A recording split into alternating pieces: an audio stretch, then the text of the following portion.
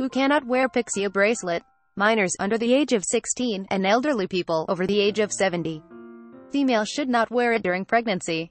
Although Pixiu is an auspicious creature, it also carries certain evil spirits. It cannot completely ward off the evil spirits. Pregnant women wearing Pixiu can easily hurt the baby. Women who are coming for menstruation. When a woman is menstruating, it is necessary to get rid of the dirt in the body, but Pixiu cannot discharge.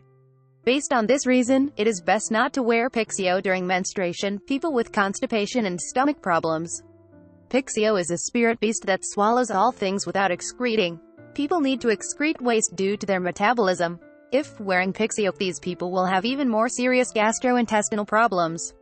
People who commit offenses against law and discipline. Pixiu is a spirit beast who protects its master, but it's applicable to the kind person. For those who commit offenses against law and discipline, Pixiu would make them even worse. People who want to get rich in no time. Pixiu can bring you good luck for making money and gathering wealth yet cannot offer you money and make you get rich quickly. It needs time and it also depends on how you treat this auspicious creature. Good luck.